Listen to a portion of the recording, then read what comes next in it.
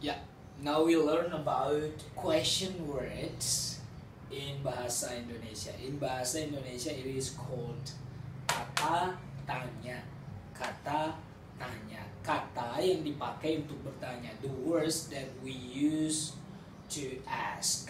Okay, so there are one, two, three, four, five, six, seven, eight. Eight usually.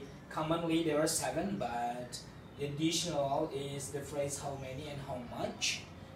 Okay, so berapa jumlah and berapa harga. Okay, we we, we start from kemana or di mana. Kemana. Kemana. Kemana and di mana. Kemana means that uh, the purpose of going to. Okay. But di mana means the location, the place of uh, of uh, a good or a stuff or uh, uh, something. So kemana means a trans the transfer that the transfer of going to. Okay, kemana. But in English, it is uh, they are translated only in one word, where. Okay, kemana or di mana. For example, okay the examples of sentences using these question words I will give the examples later on after I uh, I explain uh, a little bit about how to pronounce those words okay? Kemana where di mana where yang mana yang mana means in English which siapa? Siapa? This is talking about the subject yeah when we ask about a subject we use siapa who. But when we ask about object kepada siapa to whom or whom yeah siapa uh, this word uh, asks about the subject who but this phrase kepada siapa? Is used for uh, asking the object whom okay or to whom. And then milik siapa? Milik siapa means whose alright? Mengapa or kenapa they have similar meaning but in different word ya mengapa and ke mana? Ya both of them are uh, formal but in English only why? Okay in bahasa Indonesia or Indonesian language mengapa or kenapa? And then bagaimana? Bagaimana is translated into how? How okay? Berapa if we ask about uh, countable noun berapa jumlah? We use how many? But if we ask about uh, price we say how much how much money. Okay let's run from let's start from the beginning. Kemana where di mana where? The differences between kemana and di mana. Kemana means the transfer of going to. Where are we going to? But di mana, where is the okay, the location or the place to put something? The second is yang mana, which. Siapa, who. Kepada siapa, whom.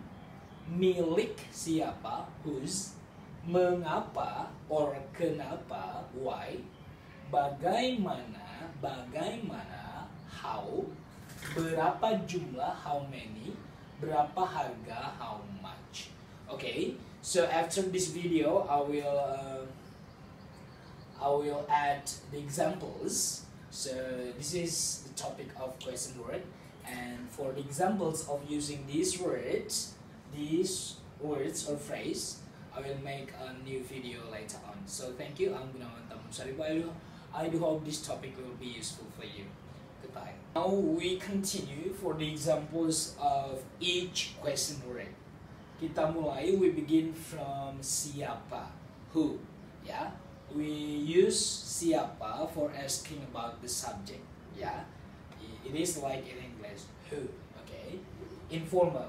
We use sometimes. Yeah, this is very. Uh, I mean, uh, this is very useful for us because sometimes in our daily life we talk uh, informally and formally. So this is daily conversation with best friends or with best mates. So this is a formal situation we use for a higher. Uh, I mean the the people who is older than we are, or when we are in a formal situation like in an office or in a meeting like that. Okay. So we begin from informal. Ya. Siapa sih perempuan itu? Siapa sih? Okay, we use in Indonesia sometimes we use particle C. C just like to stress the question. C it means like uh, we talk to a friend. Okay.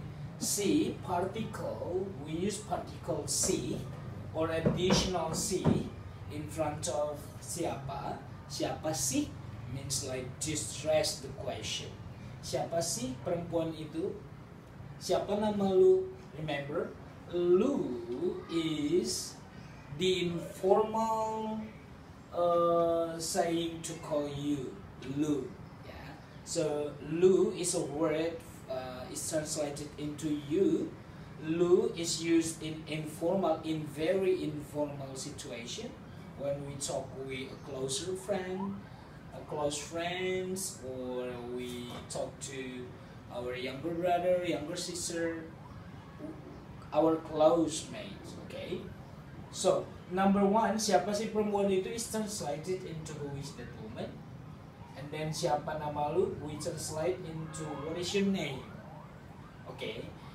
In bahasa Indonesia, informal situation, siapakah nama? Siapakah perempuan itu? Or we use here, siapakah nama perempuan itu?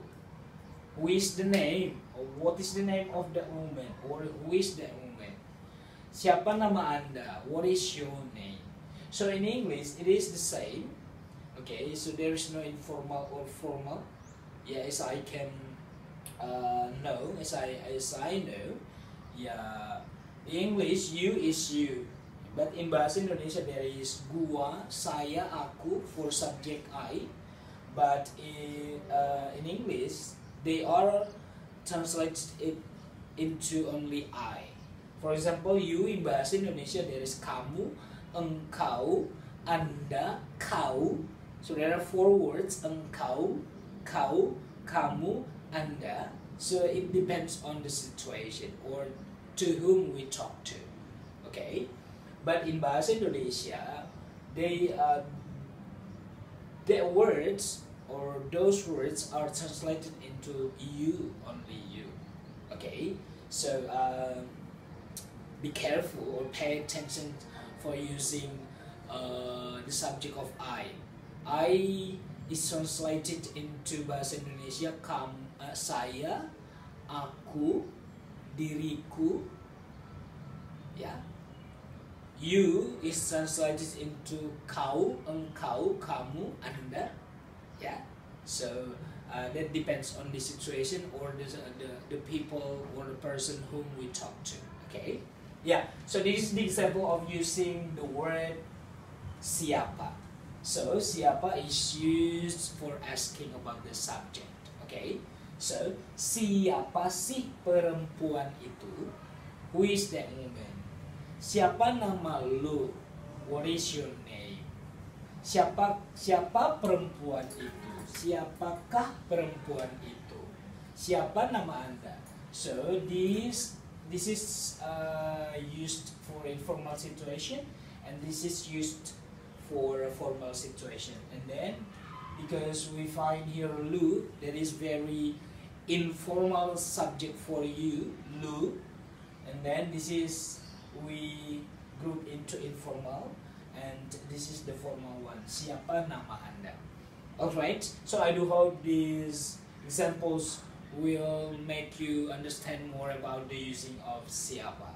So I'll meet you next uh, with other examples of the using question word. Okay, thank you so much. I'm Gunawan Tamunsari. Bye. To the examples of using the word, the question word kepada siapa in English whom. Okay, we make also informal situation and formal situation. Number one, ke siapa kamu kasih uangnya? Ke siapa kamu kasih uangnya? Ke siapa kamu kasih uangnya? Okay. Whom did you give the money? To whom or we we used to here. To whom did you give the money? Okay. Number two, ke siapa kamu telepon? Yeah, telephone is uh, I mean the contraction of telephone, but in, in bahasa Inggris we shorten is telephone. So ke siapa kamu telepon? Whom are you calling? Whom are you calling? Okay. So usually kamu, kamu and kamu or lu is used for informal situation because we talk to a best friend or we talk to the person who is, who is younger than we are. Okay. Okay. In informal situation, we I I use different sentences. Kepada siapa kita akan memberikan paket ini? Kepada siapa kita akan memberikan paket ini? Kepada siapa kita akan memberikan paket ini? Whom we will deliver this package? Ya, whom will we? Sorry, whom will we deliver? Whom will we? Whom will we deliver this package? Kepada siapa kita akan akan is the same in the future we use auxiliary will in bahasa Inggris. In bahasa Indonesia we use the word akan. It means future present future. Kepada siapa kita akan memberikan paket ini? Whom will we deliver this package? Okay. Whom will we send this package second, kepada siapa saya menyerahkan surat ini? Kepada siapa? Kepada siapa saya menyerahkan surat ini? Kepada siapa saya menyerahkan surat ini? Whom should I send this letter? Ya. Whom should I submit this letter? Whom should I mail this letter? Whom should I send this letter? Okay, so we start from the the informal. Ke siapa kamu kasih uangnya? Whom did you give the money?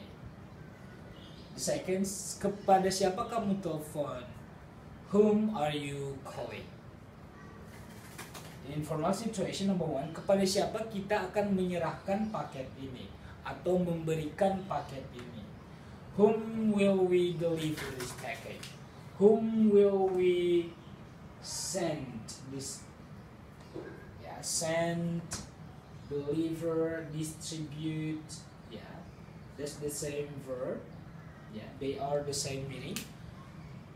Whom will we distribute this package? Whom will we send this package? Whom will we deliver this package? Second, kepada siapa saya menyerahkan surat ini? Whom should I hand in this letter? Whom should I uh, whom should I hand hand out this letter? Whom should I send this letter? Whom should I deliver this letter? Okay. So I do hope these these or those examples will make you understand more how to use the question word kepada siapa? Kepada siapa is used for asking object okay? So I'm Gunawan Tamutsaribu I'll see you next with the examples of others question words. Thank you. Yeah now we continue to the using of question word punya siapa or milik siapa milik siapa or punya siapa they are translated into whose in Okay, we from the informal uh, examples. Punya siapa ini? Punya siapa ini? Punya siapa ini? Punya siapa ini? Whose is this? Whose is this? Second example, buku siapa nih? Ni, this is a signal for uh, informal expression for using ni. Ni particle ni is using in daily colloquial uh, expression to stress the question. Buku siapa nih? Whose book is this? Whose book is this? Buku siapa nih? Buku siapa nih? Whose book is this? For formal expression, for formal situation, examples number one, milik siap, milik siapakah kamus ini? Milik siapakah kamus ini? Okay, let me tell you something. Ka, ka, prof, uh, suffix ka, uh, we can omit uh, this uh, suffix. We can say milik siapa kamus ini or milik siapakah kamus ini. So, the suffix ka is not very important, but if we use ka means that uh, it is uh, formal. Yeah? Milik siapakah kamus ini or milik siapa kamus ini, ya. Whose dictionary is this? Whose dictionary is this, ya. Milik siapakah kamus ini? Whose dictionary is this? Rumah siapa yang besar itu? Rumah siapa yang besar itu? Rumah siapa yang besar itu? Whose house is the big one? Whose house is the big one? So let me repeat from the beginning. Punya siapa ini? Means whose, who is this? Buku siapa ini? Whose book is this? For formal, milik siapakah kamus ini? Whose dictionary is this? Rumah siapa yang besar itu? Whose house is the big one? Alright. So I do hope this topic will be helpful for you, and you can practice at home, and you can practice directly to your friends who comes from Indonesia. So I'm Gunawan Saribu. Thank you so much for your attention. Bye. Yeah, we continue to the question word of yang mana is translated into English which. Okay, so yeah, number one we start from the informal examples. Yang mana punya lu? Yang mana punya lu? Ya, yang mana milik lu? Yang mana punya lu? Punya is a base base verb from mempunyai have. Okay, own ya memiliki. Yang mana punya lu? Which one is yours? So milikmu or punyamu in possessive pronoun is using yours. Okay. Milikku, punyaku is translated into mine. So, yang mana punya lu? Which one is yours? Ya. Second, yang mana bukumu? Which one is your book? Ya. Which one is your book? yang mana bukumu. So, bukumu mu is a possessive pronoun from in English your your book bukumu. Yeah. So there is no any space here because mu prefix mu uh, is used for a possessive pronoun. Okay. Yeah. For formal situation, number one, kemeja yang mana yang kamu pilih?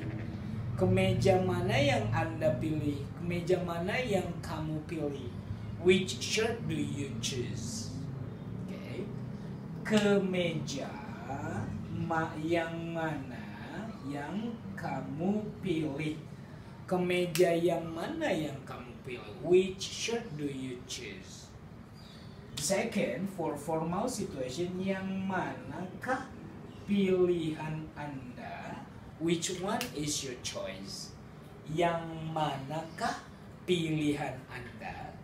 Okay, let's start from the beginning. Yang mana punya lu? Yang mana punya lu? Which one is yours? Yang mana bukumu? Yang mana bukumu? Which one is your book? Which one is your book? Kemeja yang mana yang Anda pilih? Kemeja mana yang kamu pilih? Which shirt do you choose? Yang manakah pilihan Anda? Yang manakah pilihan Anda? Which one is your choice? Okay, so I do hope this topic will be helpful for you to understand more about the conversation while native speaker of Indonesian language using this question.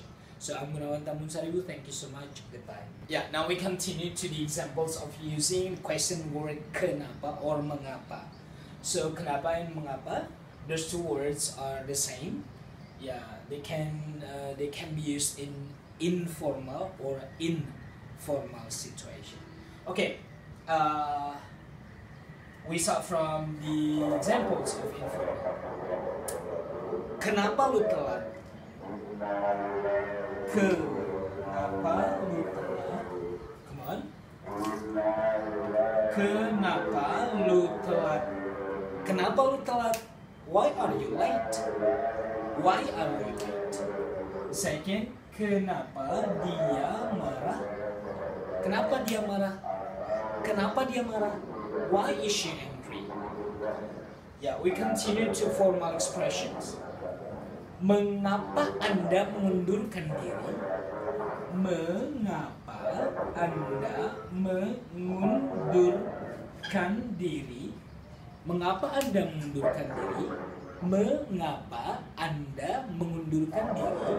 Why do you resign? Why do you resign? Second, kenapa Anda kelihatan sedih? Kenapa Anda kelihatan sedih? Kenapa Anda kelihatan sedih? Why do you look so sad? Why do you look so sad? Why do you look so sad? Okay, we repeat from number one. For informal expression, kenapa lu telat?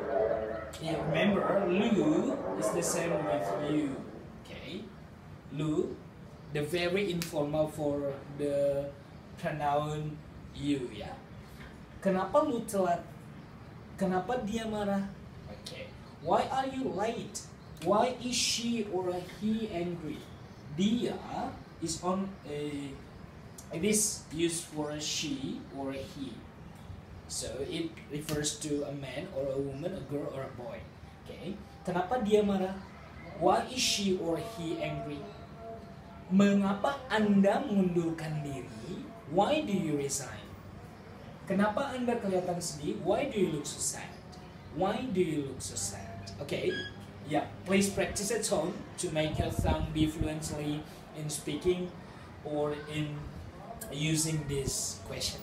Thank you so much. Goodbye. The examples of using the question word kemana or dimana. In English, they these two words is translated or translated into where. Okay, let me repeat. Dimana is the transfer of okay the location of a something, but kemana means the transfer of going. Yeah. Okay. So this is these are the examples. Number one, mau kemana lu? So in English, in bahasa Indonesia, lu, I repeat, lu is a very informal translation to the word you. Yeah, because you is translated into four words in bahasa Indonesia. There is you, eh, no, kamu, engkau, lu, anda. Anda is very formal, yeah. So lu is used in daily conversation with our best friend. Mau ke mana lu?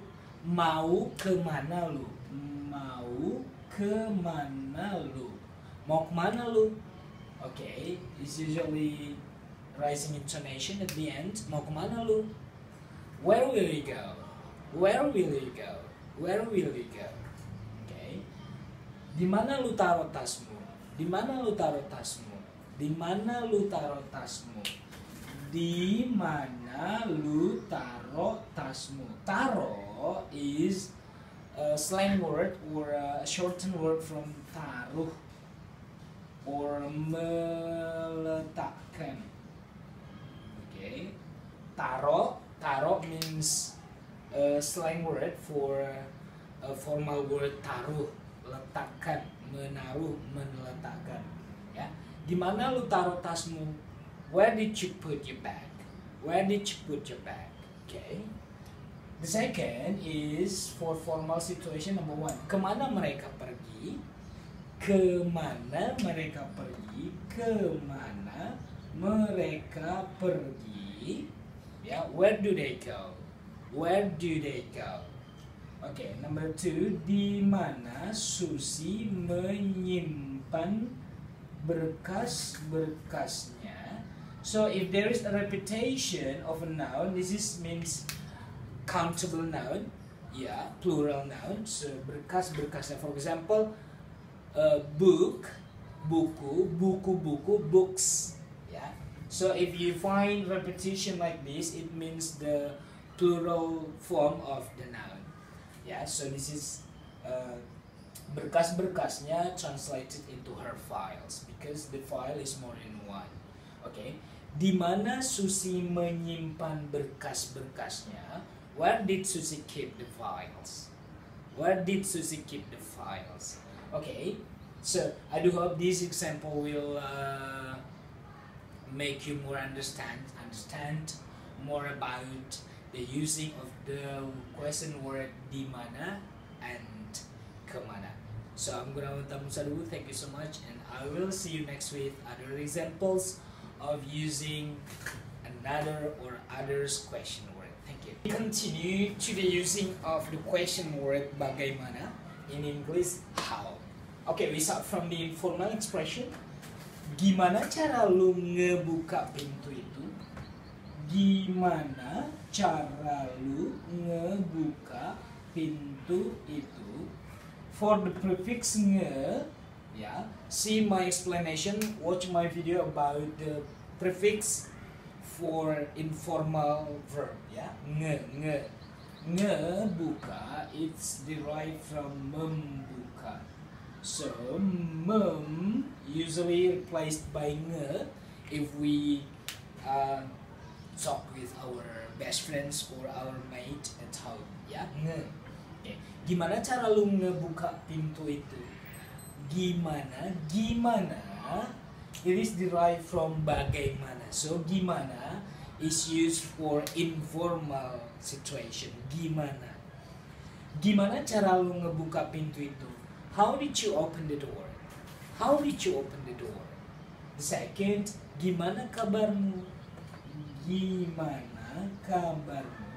Remember, gimana is a short term from bagaimana. And gimana is used for informal situation. Gimana kabarmu? How are you? How are you?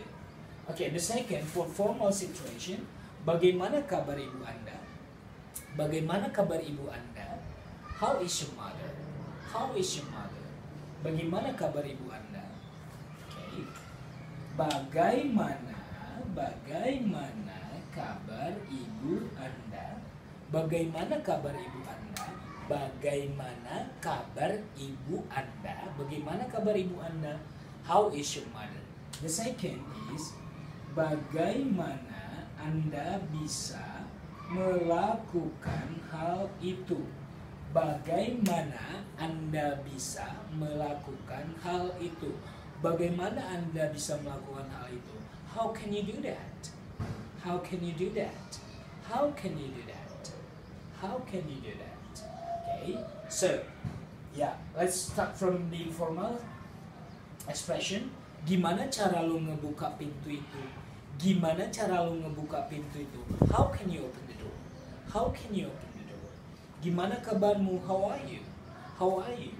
The second for informal expression, bagaimana kabar ibu Anda? Bagaimana kabar ibu Anda? How is your mother? Mother? Bagaimana Anda bisa melakukan hal itu? Bagaimana Anda bisa melakukan hal itu? How can you do that? How can you do that? Okay, so I do hope these examples uh, can make you understand more about the using of question word bagaimana in bahasa Indonesia. Please practice at home with your friends who come from Indonesia or you can practice in front of your mirror. So I'm Gunawan Saribu, thank you so much and I'll see you next week on another topic. In bahasa Indonesia, So the last one is how many or how much. Yeah, to ask about noun. Yeah, if we ask about uh, in English, there are uh, uh, a big difference between how many and how much. But in bahasa Indonesia or Indonesian language, there is no any difference. Berapa banyak, berapa banyak is followed by the name of the noun. Berapa banyak duit, berapa banyak buku. So there is no any difference between countable or uncountable noun. So we use only berapa banyak. So it depends on the noun followed by berapa banyak.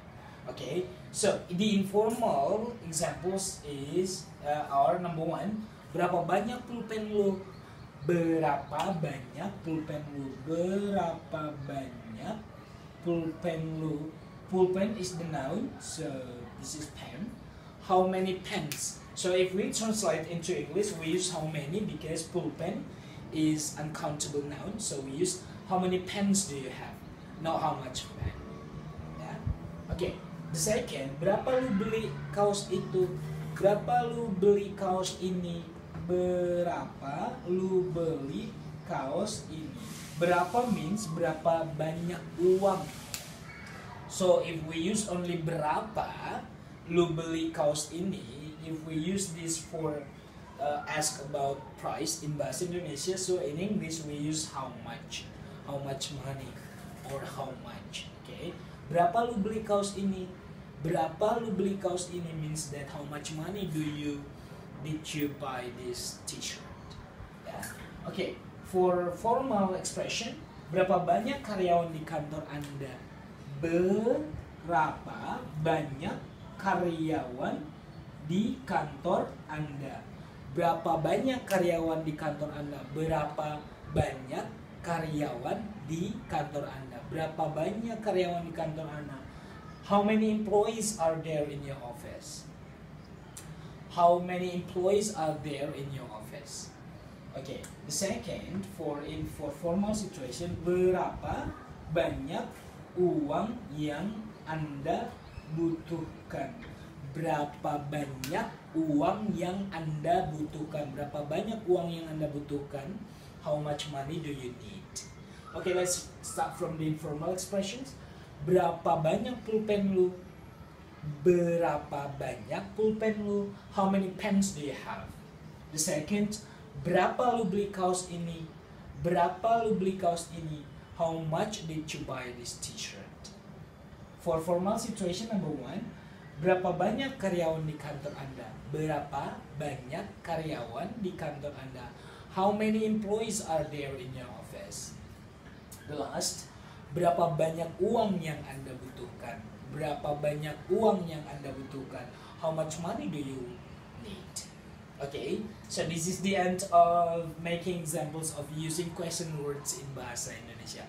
Please practice more at home so that you can train or you can train your tongue to speak fluently by using Bahasa Indonesia or Indonesian language. I'm Gunawan Tamun Saribu. I'll see you next time with another topic.